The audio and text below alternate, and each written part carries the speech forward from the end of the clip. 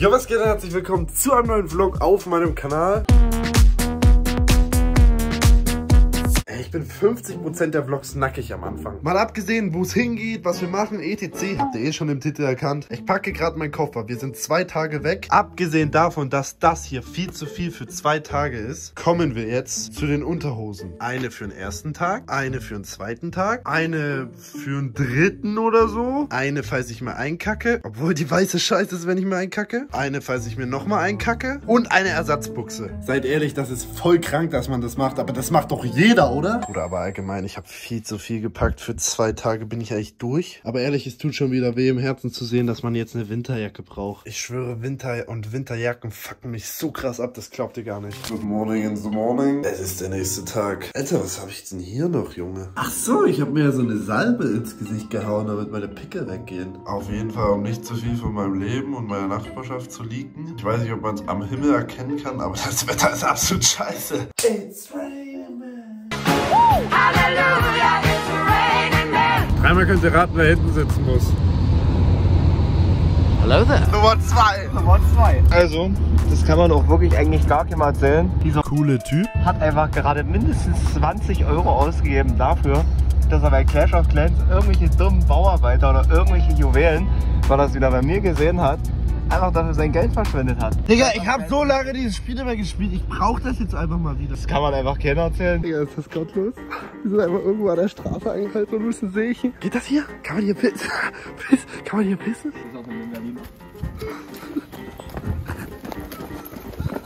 Also den Verkehr in Berlin kannst du einfach vergessen. Seit einer halben Stunde stehen wir. Baustelle. Es war unmöglich, aber wir haben es geschafft. Wirklich, mal eine Parklücke zu finden, ist ja hurensohniger als Hurensohn. Also unser Hotelzimmer ist klein, aber fein. Wir brauchen eh nichts, wir brauchen ja eh nur zum Schlafen. Hier schlaf ich allein und hier schlaft ihr zu zweit. Game Changer. Alarm für Cobra 11. Hör auf, Digga, die Leute denken, ich guck nur Alarm für Cobra 11. Also ich sag ehrlich, ich würde es auch fühlen, ne, hier zu pennen. Aber ich, hab- ich passe hier.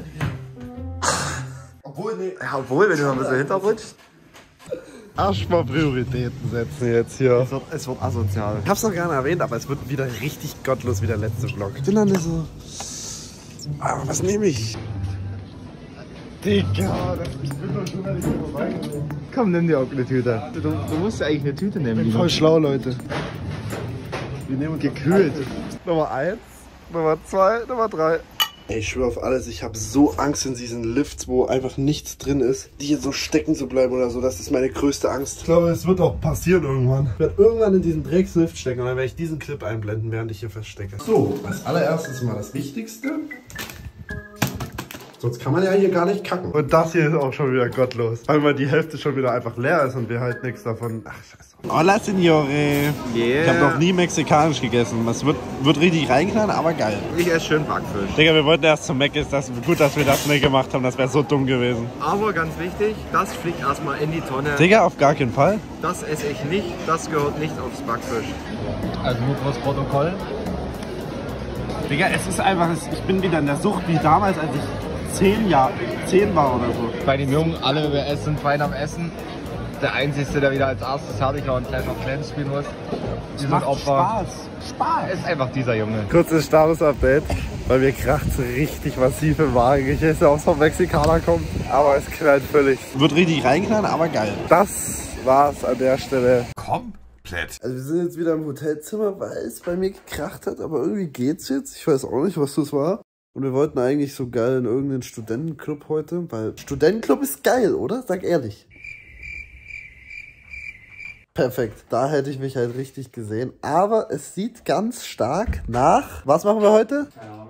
Ach Digga, komm, scheiß auf euch alle. Wir gehen in ein paar Bars. Wir checken wir sie ab, was so geht. Weil hier gibt es irgendwie keine Clubs, so Prenzlauer Berggegend und so. Das fuckt ab. Zumindest nicht auf dem Donnerstag. Oh, und einen Döner sehe ich mich auch noch oder so. So einen fetten, verdreckten, richtig räudigen. Das hier ist offiziell der dümmste Mensch dieser Welt.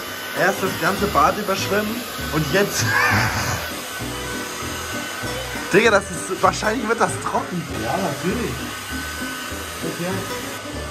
Digga, Tim, Mann. Was ist denn mit dir? Hör doch mal auf. Hör auf, Digga.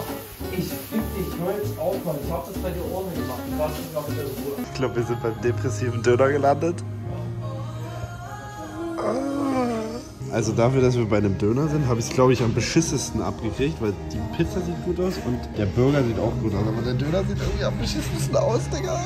Egal. Kurzes Update. Der Döner, den wir gegessen haben, der war... Also ich habe den gegessen, ich fand den schwierig, aber Döner war... Okay. Und bei mir kracht es immer noch im Magen. Das ist es nicht. Mit den Jungs. Heute wird früher gemacht. Haben wir heute eigentlich schon mal? Digga, hier ist einfach nichts los auf dem Donnerstag um 22 Uhr. Das ist voll traurig. Wir wollten eigentlich in den Studentenclub, ne? Wird halt alles in den Arm. Aber jetzt machen wir eine Bartour einfach. Eine Bartour. Eine Bartour? Ja. Freunde, Update. Wir dachten, der erste Tag wird ein Bruch. Hier ist immer noch leer. Aber ich habe gerade was gefunden. Wie heißt es? Studenten? Studentenclub. Alexander. Nee, nee, nee. Studenten Opening Party mit Blick auf äh, Fernsehturm Berlin. Freunde, es kracht. So, Freunde, schneller Outfits-Check. Äh, Digga, Change. Ah, scheiß drauf. Ich hab, der bin der Meinung, so kann man nicht dorthin gehen. Nein. Du musst dich Berlin anpassen, Tim. Das ist ganz wichtig. Ja, aber ich bin darin. Am besten LGBTQ-Flagge anziehen. Bevor wir aber feiern gehen, fehlt noch eine ganz wichtige Sache. Wenn ihr mich schon länger verfolgt, wisst ihr sicherlich, dass ich ein großer Fan von Manscaped bin. Ihre Rasierer, Pflegeprodukte und Boxerschutz sind auf jeden Fall eine große Bereicherung für mich und meinen Alltag. Doch jetzt gibt es ein weiteres Produkt. Und zwar den Handyman. Ein Bartrasierer für unterwegs. Und ja, auch ich habe Bart. Man sieht ihn halt einfach kaum. Der die Handyman ermöglicht eine schnelle, gründliche Rasur und glatte Wangen selbst nach drei Tagen Bartwuchs. Steht zumindest in meinem Skript so. Bei mir dann vielleicht auch nach drei Wochen oder vier. Ein weiteres Feature ist die Skin Safe Technology, die dazu beiträgt, dass Verletzungen und Irritationen bestmöglich vermieden werden. Und er ist wasserdicht, was meiner Meinung nach eine sehr wichtige Eigenschaft ist, gerade für unter der Dusche und zum Saubermachen. Der wunderschöne und kompakte Handyman ist also der perfekte Begleiter für so Trips wie nach Berlin und ist ein absolutes Must-to-Have für jeden von euch. Also wenn ihr männlich seid. Aber wir leben in 2023. Frauen haben auch Bart, ne? Also macht es wie ich. Geht auf www.manscaped.com. Link ist auch in der Beschreibung und sichert euch den Handyman oder andere Produkte. Und mit dem Code Linus spart ihr 20% plus kostenlosen Versand, ja? Da habe ich aber auch wieder was für euch rausgeholt. Mein RTL! Also alle haben sich ready gemacht für den Club. Alle sind fertig. Aber dann gibt es diesen einen Typen, der einfach definitiv noch am Kacken ist vorm Club. Ich kann das alles nicht. Ich kann das nicht kacken, das ist- Er kann doch nicht mal kacken, also das ist ein absolutes Problem bei ihm. Es geht los. Ich habe ein bisschen Angst. Hm, man lebt ja kaum noch. Gib mir das Geld. Wo kommt das überhaupt raus? Hier. Linus ist hype, er kaut schon auf den I'm just a kid with a dream. My dream is your number. Falls jemand fragt, ich studiere heute Bitches. Ich glaube, das ist einfach da oben. Da oben. Das kracht ja völlig rein, oder? Das kracht ja völlig Also um das Ganze festzuhalten, wir sind hier einfach im 15. Stock in komplett Berlin am höchsten Punkt. Und was war heute Spontan- früher? spontan. Spontan. Wir waren gerade noch in einer Bar und jetzt sind wir hier gelandet. Also Und ich bin krank morgen. wir sind alle morgen krank.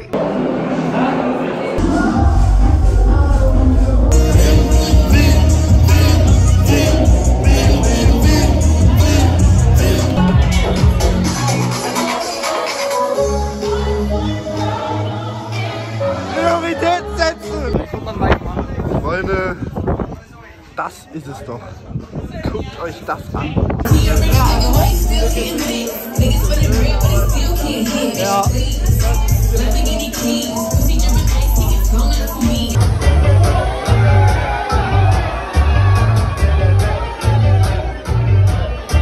Also nur, um das Ganze zu realisieren, ne? chillen hier einfach auf den Dächern von Berlin. Es ist einfach nur geisteskrank. Es ist geisteskrank.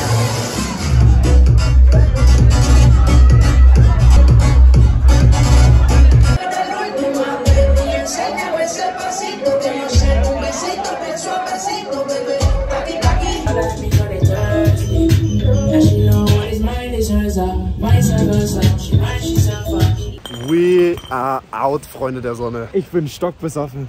Das kannst du so auch verwissen. Digga, ich, ich, ich gerne so, weil ich habe fast Doch, nichts getrunken. Und ich weiß nicht, ob ich heute der Idiot des Tages bin. Ich glaube, ich bin der Idiot des Tages. Du bist die Lachnummer. Jungs, ich bin der Idiot des Tages. Digga, du hast hier die gefickt. Und Nein, Digga, das kannst du dir sagen. Ich habe einfach, ich habe einfach eine Chance. Ich weiß nicht, wie die Chance. Gibt's eine mehr, Hund, gibt's eine eindeutigere Chance? nee, aber im Soda morgen ist meine Primetime. Das war eigentlich so, wie es ist. Ich, ich habe die eindeutigste Chance, glaube ich, verpasst. Ja, die andere wollte nicht sagen.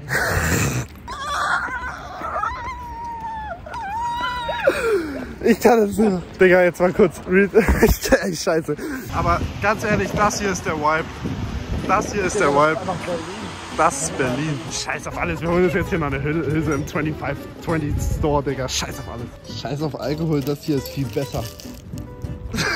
Oh. es, es hat nicht für 10 Euro gereicht, Digga. Da muss es noch Eis hergeben. Und das ist komplett tiefgefroren und verschimmelt und gammelig. Das Ist egal, ich habe eine Capri-Sonne, das ist viel geiler. Der Alkoholkonsum ist hier so groß. Es muss einfach um 3.20 Uhr noch ein Bier geholt werden oder zwei. Es ist 3.20 Uhr. Oh, jetzt noch ein Döner wäre echt schon eine Idee. Da kotze ich, glaube ich, aber. Wir machen jetzt einmal Laufe die Linie. Ich möchte einmal eine gerade Linie sehen. Digga, das schaffe ich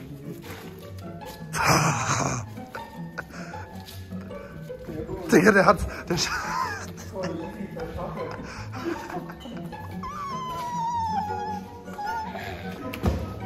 Das, das kommt so sehr rein. Der ist nicht einen Meter gerade ausgelaufen. Das musst du dir auf der Zunge zergehen lassen.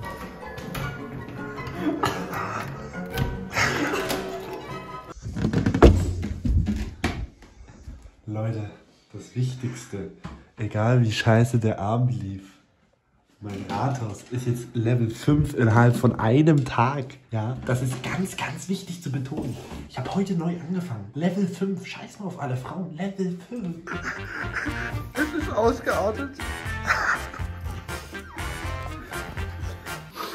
Auf aus, Jungs. Mit den Jungs. Mit den Jungs. Also mit einem. Das Update, by the way. Regnet die ganze Zeit, den ganzen Tag. Wir haben jetzt ewig gewartet, aber wir gehen jetzt trotzdem raus. Scheiß auf alles. Bisschen an Kurfürstendamm, Brandenburger Tor, bisschen abchecken, dies, das. Und machen halt jetzt das Beste draus und heute Abend geht, in, geht es ins Soda. Ganz wichtig mit Gästeliste. Ach, Digga, das ist so irrelevant. Wir freuen uns, hättest du sagen müssen. Ey, ich wollte eigentlich noch ein Update geben, das wollte ich gestern Abend noch machen. Es hat sich gestern wieder offiziell bestätigt, dass die beste hässliche Freundin oder Dick der Wirt ist. Gestern wirklich wurde ich wieder die ganze Zeit von der Freundin, falschen Freundin angetanzt. Und die hat sich in die Quere gestellt und abgefangen. Das ist unfassbar. Ich glaube, wenn die nicht da gewesen wäre, wäre der Abend noch mal ganz anders verlaufen. Weil das ist ein richtiger Abturner. Du kannst es bestätigen. Digga, die, die wollte die ganze Zeit uns antanzen. Wir wollten die andere. Ne, ich wollte die nicht. Also, ich wollte... Äh, ist- Also schon so, aber. aber ich sag ehrlich, das ist der Wirt. Und das ist und bleibt Fakt. Wir sind wieder am Ort des Geschehens. Aus dem letzten Vlog, wer sich erinnern kann. Hier kurzer Einblender. So habe ich mir absolut meinen Berlin-Aufenthalt vorgestellt. Dreckiges Wetter, rumlaufen, nichts machen und nur feiern. Das ist es ja wirklich, aber dieses andere, Jungs und Mädels. Diese ganz schnellen 100 Euro. 5 Sekunden rein, 5 Sekunden raus, weiß ich nicht. Ich wollte eigentlich da rein, aber ich fühle mich da sehr unwohl. Ich weiß noch nicht, wo wir sind, Alter. Digga, das erste Mal Five Guys. Und der Idiot hat einfach mein Getränk vergessen. Und 50 Euro für absolut nichts. Das ist crazy. Digga, ich hab so einen Kulturschock. Du hast noch gar nichts bezahlt. Ich hab so einen Kulturschock. Ja, das ist einfach ein Schlachtfeld hier. Hier wurde einfach der, der dritte Weltkrieg veranstaltet, Digga. Das ist ja krank. Der TikTok-Döner. Hätte ich jetzt auch Bock gehabt, mir den zu Bin holen. ich dir ehrlich. Scheiß auf Five Guys. Lass rauskotzen und einen TikTok-Döner holen. Döner mit Liebe. Und Leute, was ihr absolut nicht vergessen dürft. Dort oben waren wir gestern einfach abfeiern. Genau dort oben. Gold. Die wirst du heute alle noch trinken. Und im Club noch. Und im Club noch. weiß nicht hundertprozentig. Ich habe einfach zugegriffen bei LFDY, weil ich eigentlich auch schon T-Shirts habe. Ich hätte, glaube ich, eine M nehmen sollen anstatt eine L. Das ist schon ein bisschen groß, aber jetzt ist egal. Ich trage sowas auch. Tim hat gerade das andere Shirt an. Was ist das? Ja, das ist vom Regen draußen. Achso. Das ist bei ihm richtig oversized. Aber sieht irgendwie auch fresh aus. So habe ich ihn noch nie gesehen. Wir haben gerade überlegt, ob wir einfach so in den Club gehen, beide, und das, Fre das Freischild dran lassen. Das so geil eigentlich. Aber du siehst fresh aus. Ja, ich sag ja, wollen wir das anziehen? Digga, dann wurden wir Berliner Look. Ich glaube, ich gebe dir das heute. Mit den Tattoos guck dir das an. Ja, das sieht echt fresh aus. Aber das wäre cringe, wenn ich das auch an hätte. Also das kann man auch eigentlich schon ja keinem erzählen. Einer schläft da drüben, Wir müssen noch das ganze Zimmer aufräumen. Wir müssen morgen früh bei Zeiten los. Es geht gleich in den Club. Wir sind absolut nicht. Gleich, jetzt mal so Zwei Stunden. drei, vier Stunden. Wir sind absolut noch nicht ready. Wir müssen dieses scheiß Zimmer hier noch aufräumen. Much later. By the way, bevor ich es vergesse, hier nochmal eine kleine Hotelroom-Tour. Hier das schöne Doppelbett. Habe ich das eigentlich schon im Vlog gezeigt? Habe ich das schon gezeigt? Äh, auf jeden Fall hier Doppelbett und hier das kleine Bett und hier Koffer, alles. Und es sieht viel zu ordentlich aus. Wir haben ja eigentlich aufgeräumt. Das sah aus, als wäre hier der fünfte Weltkrieg ausgebrochen. Und vor allem, ganz schlimm, hier. Weil einer, Digga, wer hat nicht gespült? Weil einer zu dumm ist, mit Vorhang zu duschen. Dieser Mann hier hat den Vorhang nach außen gehängt. Das ganze Bad war unter Wasser. Ich kann das auch alles nicht mehr, wirklich. Das ist einfach. Ja, und jetzt haben wir noch Essen. Also, beziehungsweise. Einer von uns. Digga, wir wollten eine Pizza nach 21 Uhr. 21.06 Uhr. Es gibt einfach keine Pizza mehr hier. Und wir haben absolut keinen Bock auf irgendwie so einen Döner oder Burger oder so einen Scheiß. Wir wollten uns eine Pizza teilen vom Club. Aber es ist krass. rostige Bratwurst. Ich hoffe, das gibt's noch im Club damals. Ja. Sonst müssen wir nach dem Club irgendwo bei irgendeinem Döner Nee, da anhalten. müssen wir zwischendurch raus. Ich hab Dann geht's zu Nass. irgendeinem Döner. Dann geht's halt zu einem Döner. Ich krieg jetzt aber irgendwie nichts runter, so vom Feiern gehen und so. Viel zu früh, jetzt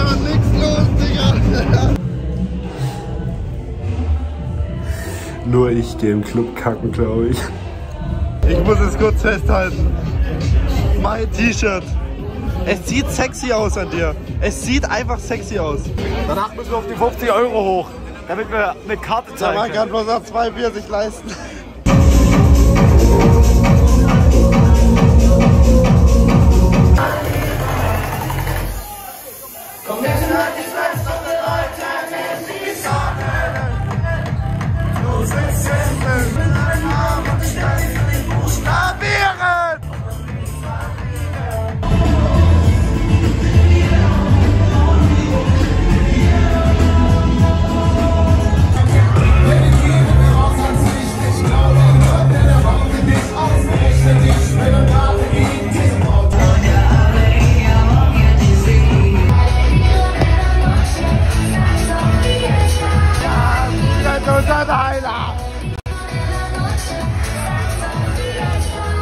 Ganze Bank ist nass.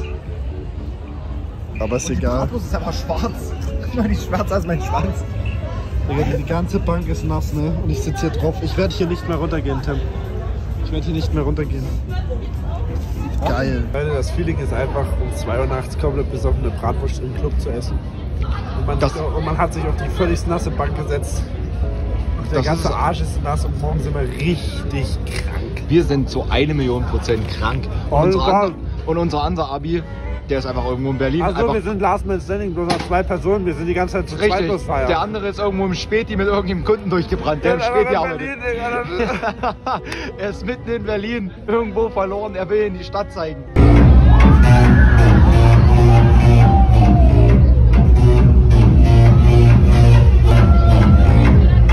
Ah, ich brauch das gerade!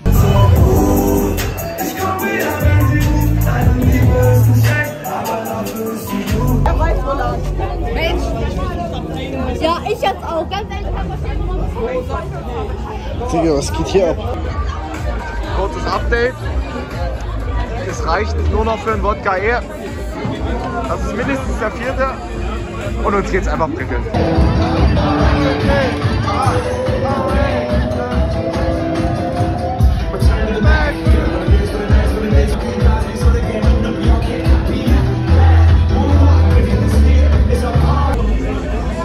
bleiben straff, treu dem Wodka E. Tschüss. Kann das alles nicht mehr.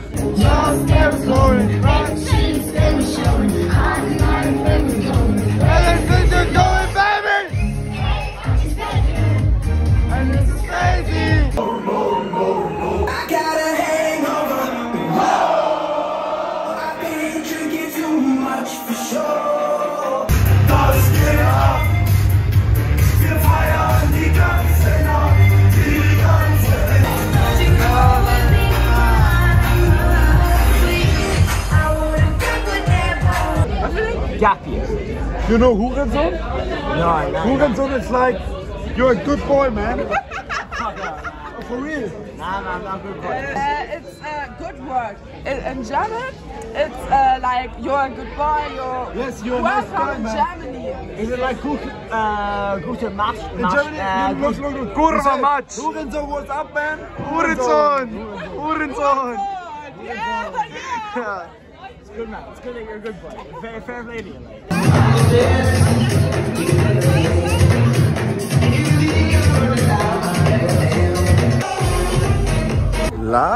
Man Standing.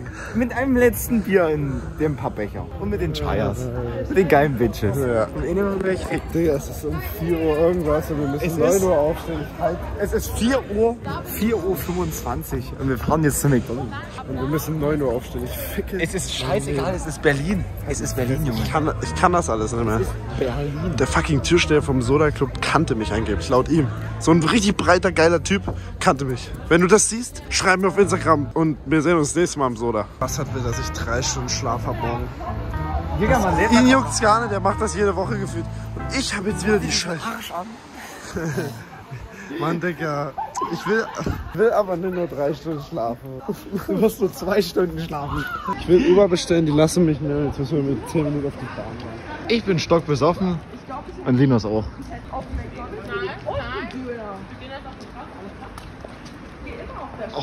Also nur um das Ganze festzuhalten, wir sitzen neben Kotze. Wir hätten einfach Uhr bestellen.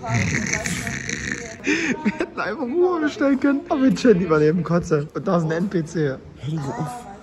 Digga, hör doch mal auf. Bitte. Und hier sind Haufen NPCs. Linus.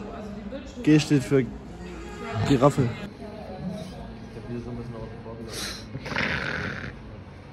Wir sind mitten in Berlin. Hier ist Kotze. Das hast du schon dreimal gefilmt. Hör doch jetzt mal auf. Kurzer Real-Life-Check. Mal jetzt auf. Wir wollen nur einen Ich Match. kann das alles nicht mehr.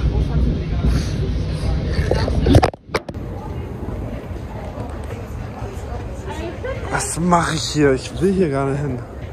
Lasst mich alle in Ruhe. Wir waren jetzt richtig unnötig hier noch beim Meckes am Alexanderplatz mit zwei Chayas, die wir jetzt einfach hinter, zurückgelassen haben. Und ist so sind es, dass wir jetzt um fünf noch hier unterwegs sind. Jetzt hole ich mir noch einen Drecks-Uber, was ich mir schon vor einer Stunde hätte holen können. Ich kann das nicht, Tim, ich kann das doch alles nicht mehr. Ich will, ich habe jetzt vier Stunden, äh, drei Stunden Schlaf. Digga, und morgen den ganzen Tag unterwegs und abends noch weg. Und ich will das alles nicht mehr. Du, mein Ämter kommt noch. Ist das gottlos. Es wird morgen ein schlimmer, bodenloser Tag. Und diese zuckerfreie Cola ist so räudig. Mach das nicht auf, wenn wir in Uber, der bringt uns um. Salam, Abi. Servus. Wir haben es geschafft. Wir haben es geschafft. Wir waren heute nur zu zweit feiern, by the way, falls ich das noch nicht erwähnt habe. Wir haben es einfach geschafft. Und wir haben jetzt äh, gefühlt wirklich nur noch dreieinhalb Stunden zu schlafen. Nicht nur gefühlt, wir haben bloß noch dreieinhalb Stunden. Für dich juckt es nicht, für mich tot. Das machen wir alles einfach nur noch Sorgen mit uns. Drei Stunden müssen wir aufstehen. 6 Uhr morgens, es gibt einen.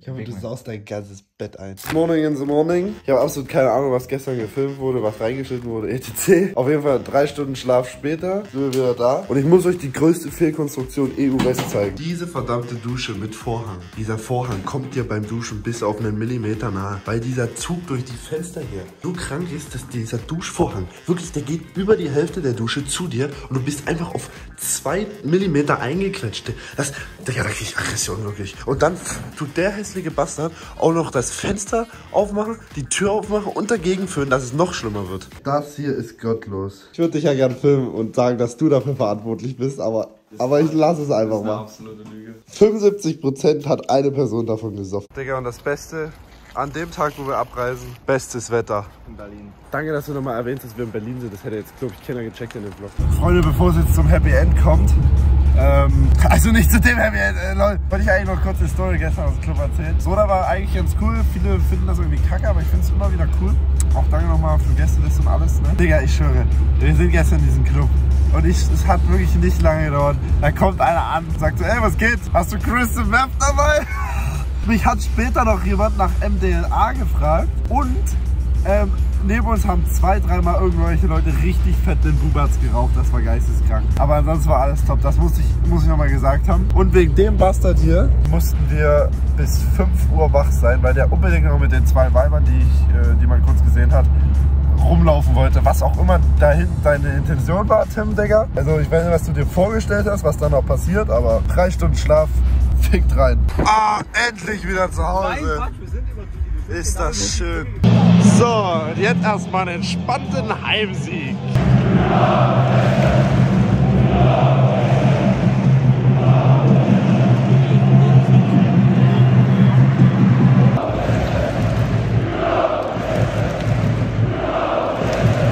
Freunde, ich habe wieder drei Radler getrunken und ich kann das auch alles nicht mehr. Aber Tim, wie heißt so schön? Dann lebt der kaum noch. Nein, Heimsieg. Hallo, Heimsieg. Freunde, an der Stelle war das Wochenende auch wieder vorbei. Wir sehen, uns beim, wir sehen uns am 11.11. beim nächsten illegalen Video. Ich kann das alles nicht mehr. Drei Stunden geschlafen, ich gehöre noch auf den Geburtstag und dann falle ich morgen tot um. Lasst ein Like da, abonniert, kommentiert, lebe.